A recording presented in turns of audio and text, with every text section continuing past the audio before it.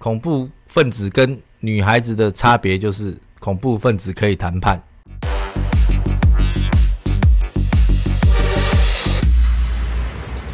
ご覧の番組はシアオシー自動車からお送りします。低価格。今天搞了一个新的麦克风回来，好不好？设备是不断的一直升级再升级。 啊，我的那个脑波很弱啊，我有时候半夜逛一逛，然后看到什么新的东西玩意，我就处理下去了。啊，T4 救护车的故事就是我讲的故事。哎，我讲的故事用今天呢？那一天那个我那个 Camry 的那个影片有没有？我是不是有讲说我多年以前去台南买？你们去看那个留言，我把它置顶了。滴血认亲。好不好？他有来留言，就是说我讲故事就是真的，真的我买的就是他家的车。好，我们那没有在编故事的，好不好？T4 救护车那没什么啦，其实就是以前那个 T4 救护车都是时间到了他们会打出来嘛，会流入市场，那它价差很大，会很便宜，因为很多车商不会买，也不敢买啊。你敢买就赚去这样。那个同行买了三个月没开市，不知道三个月还半年，我忘记了，都没有开市啊。原厂避震改短弹簧会有什么后遗症吗？以前很流行这样改哦。以前有一些车行啊，哦，车收回来有几个东西一定要改。第一个大包，第二个仿 BBS 铝圈，好八八五铝圈。然后避震的话，哦，他们只会换短弹簧，因为短弹簧比较便宜。我记得一般的车短弹簧那一组都三四千块而已。好，以前还有流行减弹簧的，好，就是把原厂的弹簧剪短，然后车绕低就很好卖了。改短弹簧哦，其实因为它整个你车身的所谓的 cam 吧。就是那个角度啊，车身轮子的角度跟你底盘的角度，跟它的受力应力已经跟原本设计的已经不一样了。所以其实你虽然你车身降低了，但是你对于其他的，比如说你的桶身啊，比如说你其他底盘的一些拉杆那一些零件材料啊，其实都有。蛮大程度的影响，也就简单讲，耐用度会降低啦。就车工的那个老板阿吉有讲，你如果这个车子太软的话，有时候你经过一些比较大的坑洞的时候，那你车子弹跳之后呢，落地之后那个动态你是非常难掌控的。有时候如果地比较湿滑啦，或者你轮胎状况比较差，你可能就会打滑。好，所以其实底盘是很全面性的东西。坦白说，并不是只有改一个避震器或改一个弹簧这么简单的事而已。好，其实各方面都接连的影响到。我常常在说一件事情啊，哈。就是现在，其实外面有流行改车嘛，哦，什么改晶片呐，改排气管呐，改东改西，改一大堆东西，对不对？可是你想想看哦，原厂它这么大的一个财团，然后它出了一台车，难道它不是一而再、再而三的去测试，测试出最完美的这个供油的比例啦，变速箱的逻辑呀，好，要兼具这个省油，要兼具这个运动等等，它都要各方面都要考虑到，然后要送检检测过了，它才可以量产上市嘛，好，他还要实测，对不对？要不然怎么会伪装车啊？什么要先做一些道路实测？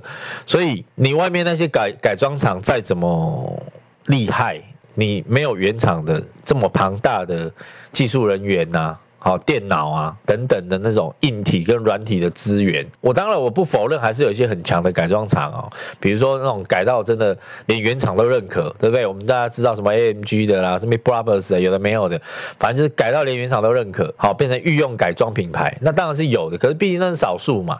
你大部分如果是一些比较呃没有经验，或是土法炼钢，甚至说拿这个客人的车来当实验品。好，写电脑程式啊，反正炸掉了再灰，已经炸掉了，打开再灰，对吧？你那边还没啊那啊内容乱改，我是觉得不太好的啦。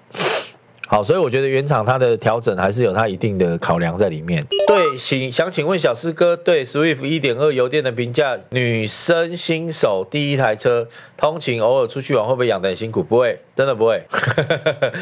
其实很多日制品牌的小车，为什么它的价格这么好？二手车的市场的价格这么好，就是因为真的稳定度蛮不错的。基本上我的预计啦，哈，你基本上买了类似比如说 Fit 啊，或者是 Swift 这种车啊，你可能五年以内你不用太担心这个车会跟你要到什么钱。好，大部分都是你自己出去的油钱啊，或者是停车费啊等等，税金啊等等的花费。其实以外你要花在车身上面的钱，真的其实不多，了不起就换个轮胎嘛，换个刹车皮啊，好做个保养啊。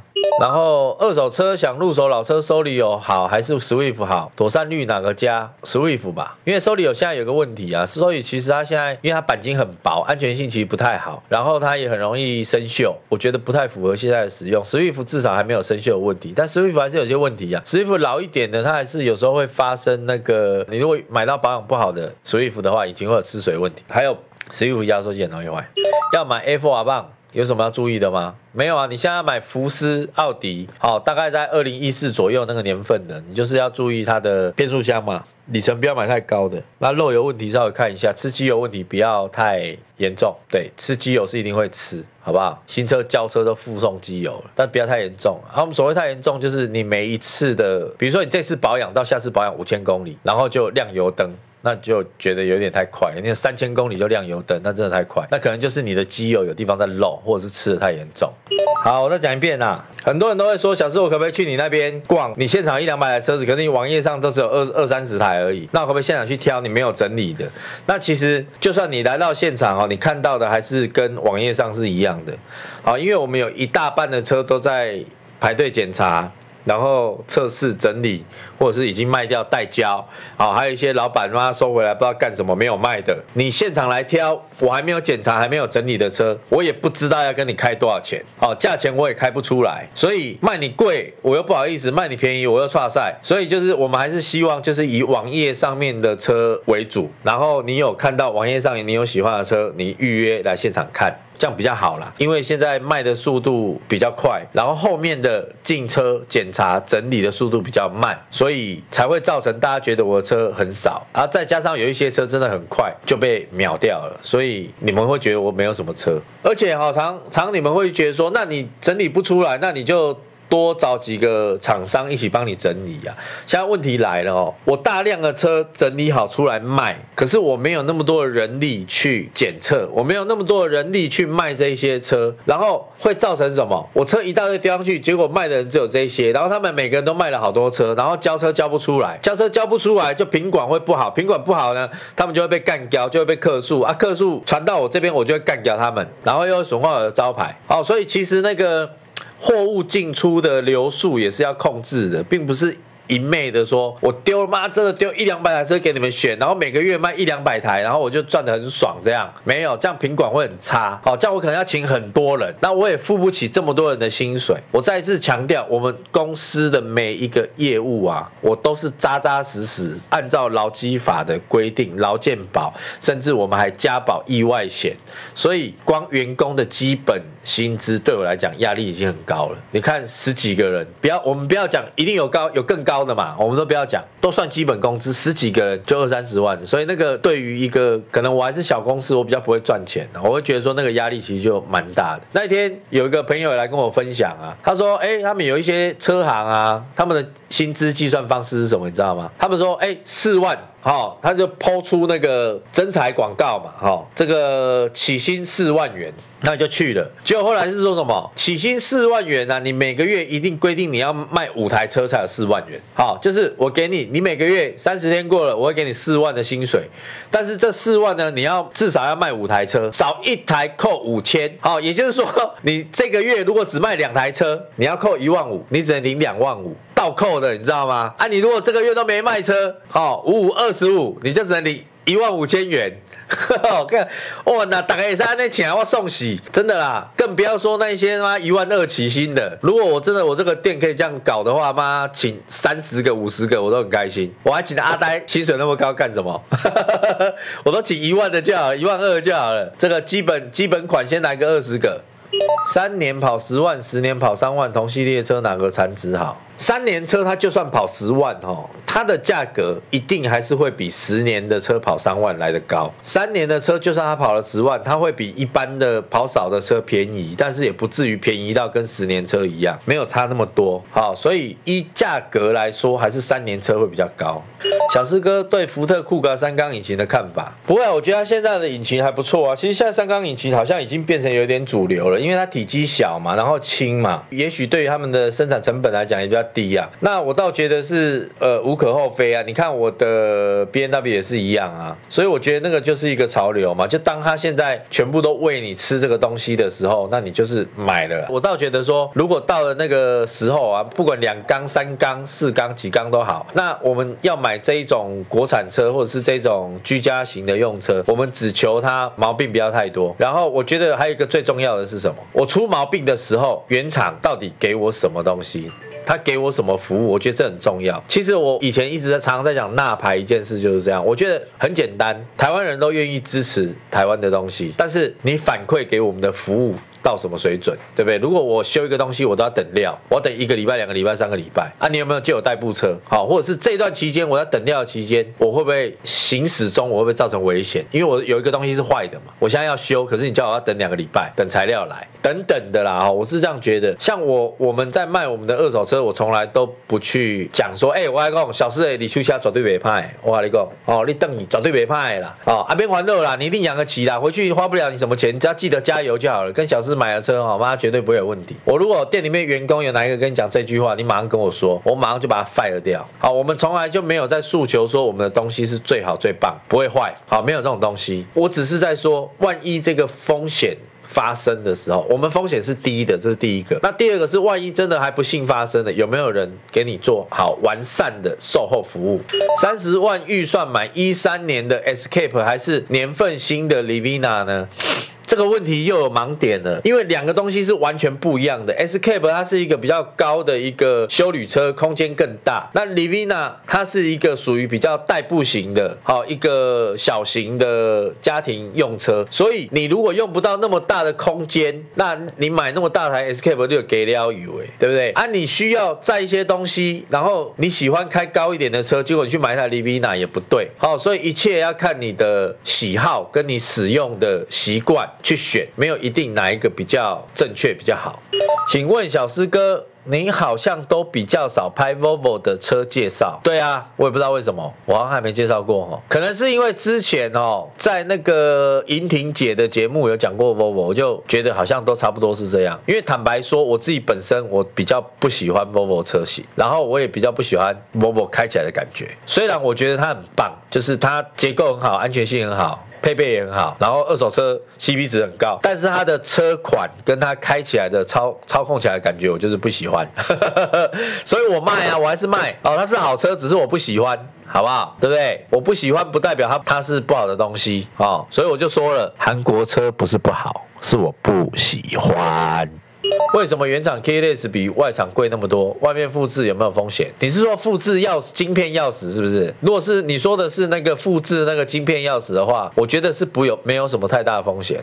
那为什么原厂比较贵啊？原厂什么东西比较便宜？你跟我讲，原厂什么都比较贵，好不好？因为他们公司大啊，他们有这个漂亮的展间，这个整排的落地窗还要定时的、定期的找清洁公司来洗这些落地窗，对不对？里面还要请几个媒啊。哦啊，穿个这个 OL 服装，穿个黑丝袜，踩个高跟鞋，对吧？底下旁碟哦你，请问需要什么服务，对吧？要请问这个我们有提供厚片，你要花生的还是草莓的啊？你要喝咖啡还是喝拿铁？请问你要喝什么饮料？还弄爱急好不？好，所以原厂贵是合情合理的。阿吉的师傅问说要不要降车身，我还在犹豫，暂时原车高设计，我觉得那个没有一定的答案呐哈。车降不降，然后避震器要多软多硬，我觉得那个没有一定的答案，依依照你的实用性可以去调整。所以我觉得我喜欢用这个高低软硬可调，就是这样，你可以依照你的心情跟喜好。有时候你装了避震器一回去，老婆坐到就靠腰了，你就差晒了。你如果换套装，你就差晒了。哦，来。买车可不可以全额贷？哈，大家在网络上都看到很多什么全额贷、呼吸专案，一张这个身份证就可以这个全额贷款哦，免头款。那可不可以全额贷？哈，要牵涉几个问题。第一个就是这个车子的年份呐，还有它的车况，还有你的信用收支状况。那基本上大部分大部分正常的状况，一般都是要自备一层，因为这个一层可能是要负担你一些税金呐，或者是这个银行希望你有一些自备款。好，所以通常是一层。那不是没有全额贷的。机机会哦，好，如果车子比如说它有一点瑕疵，卖便宜一点，或者是这台车它是一个冷门车，好，市场价值很便宜，可是银行建价很高，那有可能可以全额贷，好，所以不太一定呐。但是我觉得大家如果想要买一台车，正常的国产车哈，市面上流通比较广泛的国产车，你还是要自己要自备一层会比较理想。那更不要说你要买一些双 B 进口车款，福斯啊、奥迪啊、双 B 的车款啊、Volvo 啊这种进口车。更难全额贷，为什么？完了，好不好？你你如果没有钱照顾他，你更不要说你有钱缴得起贷款。所以通常越是这个进口车哈，他越是希望你自备越多钱，买车的如果要贷款的话，大概有什么流程？其实没有，我跟你讲哈，其实贷款是很简单的哈。你不管买新车买二手车，其实都都是差不多的流程。你看完车，你决定下定签合约之后哈，我们就会请银行。来跟你联系，那他就会这个电话中跟你了解一下你的工作状况，你能够提供哪一些的佐证的资料，他就会麻烦你准备好。准备好之后，他就会约时间来跟你做签署一些对保的文件。那二到三个工作天审核完成之后，他就会拨款。拨款之后，他就通知二手车商可以过户了啦。那二手商过户之后，他就拨款。好，跟买房子什么都一样，大概都是类似这样子的。所以其实贷款。没有没有复杂很多，只是中间多了一个签署银行文件的这个过程，这个流程而已，其他都是一样的。小司为什么不卖七系列或 S？没有啊，就是觉得问题比较多啊，就不想卖啊。而且我觉得那些车本来就不是很主流，一般正常的人很少会想要买 S 或者是七系列吧。而且的确啊，我之前也分享过，我觉得很奇怪的是，我怎么觉得 B N W 有没有不是有什么呃一二三四五好六系列七系列对不对？可是往往我觉得七系列就是会比三系列问题来的多一点。哦，反正就是妈等级越高的车问题越多，我也不知道为什么。哦，一直都是这样，已经很多年了。一九 C 叉三有什么需要注意的？不用啊，没什么好注意的啊。哦，一样啊，那些中古车问题嘛，事故泡水啊，什么里程数高啊，上面无为不为，哦，避免掉就没事了。那个马自达现在的车其实稳定度真的蛮高的，所以你会发现我马自达的车其实也进蛮多的。我跟你讲啦，我我一样啦，我跟你讲，那个车卖了以后，数位很少的那种车，我才会喜欢卖。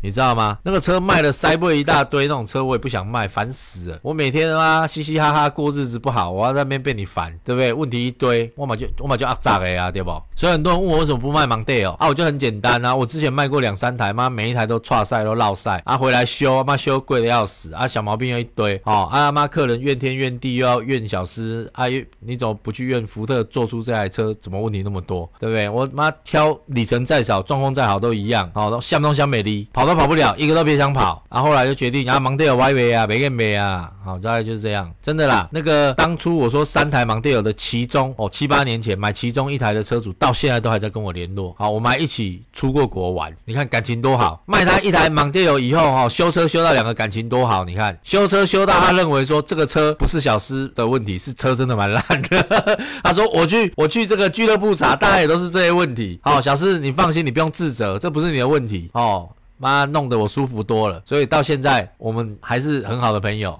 好，所以之后就不卖了啦。啊，事事实上我觉得这样也不错啦，就是说锁定一些车款来卖，其实对我来讲也比较轻松啊。要不然这么多的车款哦，因为二手车比新车车款多太多了，你光一个厂牌的其中一个车型，搞不好从一九九零年到妈二零二零年都有。中间改过三代五代，我如果要每一种都买的话，我真的也买不完。所以我觉得锁定车款很棒。我以前就曾经有个梦想啊。我想要开一间二手车行，不用太大哦，大概二十台车、三十台车左右。好，我就全店，我就是只卖女孩子用车哦，卖一些马曲啦，哦，马蒂斯啊，以前呐，哈，还是这个哦小车，对不对？Smart 啊，可爱的 Polo、Lupo 小台的啊，好圆圆的，对不对？Mini 啊，都放一些女孩子会用、喜欢的车。Hello Kitty 马曲啊，有没有？薰衣草马曲啊，Tiffany 马曲 b r i t a 有没有？像我去日本呐，哈，我跟大家分享过，我去日本考察过，哈，因为他们有很多很。大型的连锁店真的是全日本连锁那种大型连锁店，有的甚至开在这个百货商场的这个展间一楼这样。那他们有一些这个小小车行啊，哈，我后来发现说，他们开始会去做一些比较专门的一个。会 focus 在某一个品相上面，比如说某一间小店，它只有二十台车，在日本呢，哈，它可能都只卖 K 卡，K 卡就小台车，六百 CC、八百 CC 那种小台车。然后某一些车厂，它专门卖一些双门跑车，就是整间店都是放双门跑车啊，或者是整间店都是放那种吉普车，四轮传动的吉普车。我就觉得说，哎，其实这样很棒嘛，因为你那些小车行，你要怎么生存？你就是要把自己这个专业再提升，好，把你的品相呢，再更加的。的精准化，要不然他们生存不下去。别傻了，卖车给女孩子最会屎屎尿尿的，没关系。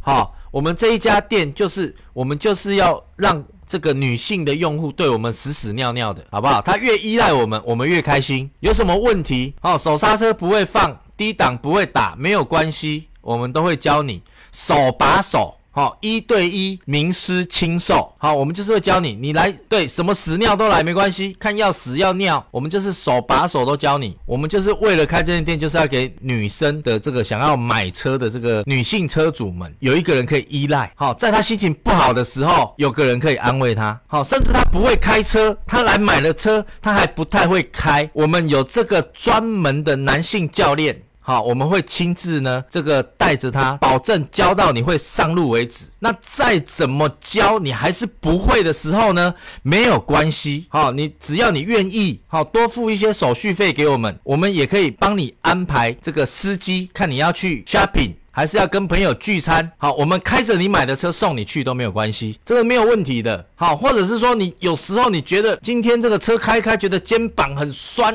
哎呦哎呦，安尼筋骨无盖都好，没有问题。我们这个职人的精神就是这样，我们还是会安排我们的服务人员亲自呢帮你做一个舒压跟按摩的一个动作。如果很丑怎么办？刚让你怎么可以说这种话？女孩子没有什么叫做漂亮跟丑的。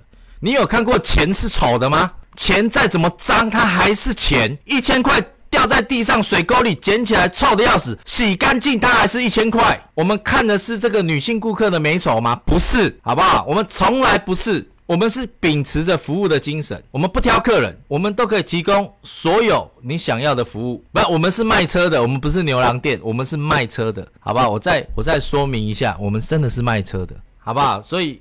以后哈，我们有有机会，这个我觉得应该要开一个这个面向女孩子的这一种，呃，让小资女哈地方的妈妈都会很放心的买一台这个代步车、买菜车的一个店。好，我觉得这样还不错啦，真的。这个我觉得这个想法是，如果哈这个现场哦有想想要投资小司的这种，这个小司汽车招牌到时候是粉红色的嘛？那这个如果想要这个支持小司圆梦哈，有意愿要投资成为股东的哈，再帮我打个加一。好，我来看一下这个有没有机会哦，我们来开这个牛郎店啊，不是。二手车店看有没有机会哈，有有有意愿来这个集资一下的哈，帮我打一下加一。那如果这个没有问题，人数够多的话，我们就这个提出一系列哈一整套的计划出来。女生开车不不是也解决需求哦，不是哦，女孩子要的远比你想象的更多，好不好？好啦，就这样了，处理了啦哈。我来研究一下处理了啦。那我们的店门口哈会挂上很多这个男生我们服务人员的相框。好，你在门口就可以看到我们这个男性服务人员的照片。好，比如说有一张照片可能是泰山，有没有？好，然后有一张照片表框是阿呆，好，还有柯 P，有没有？好，大家的照片都会挂在门口，好，供你们浏览。所以你们这个在店外的时候，你就可以先挑一下你喜欢的服务人员的类型，好，喜欢的服务人员的类型。那你进来之后，你就可以指明，请问有没有指定的这个服务人员？好，啊，没有指定比较便宜，指定要加趴。对不对？跟那个指定设计师一样，是要加趴的。好，夜王，对对对对对，哈，夜王，嘿，歌舞伎町，消费金额需满多少才可以指定小时？哦不，哇，夜王呢？哎，夜王是上面艺术第三哦，哈，夜夜王的艺术都是我只有我挑客人，好不好？好，没有客人在挑我的，好不好？那个东贝利先开了。我不是罗兰度哈，我是罗斯兰。画面没有，没有啊，一直都没有画面，它已经卡很久了。我们先从台北开始啦，好不好？先不要研究到新竹去了，我们就先这样处理了。我们就先这样处理。我先来研究一下这个女性用车专卖店，那这个男性止步罗斯兰罗斯兰 啊，不是啊，呃呃罗斯兰，我们也是很多女性观众很支持我们这种专门为女性设计的一个二手车专卖店。啾咪二手车专卖店，好啦，啊，今天时间差不多，哎，我要看妈的扯这个螺丝兰扯了，画面卡那么久，时间也过那么久了，好啦，谢谢大家今天的收看哈，大家晚安啦，拜拜拜拜哈，大家晚安。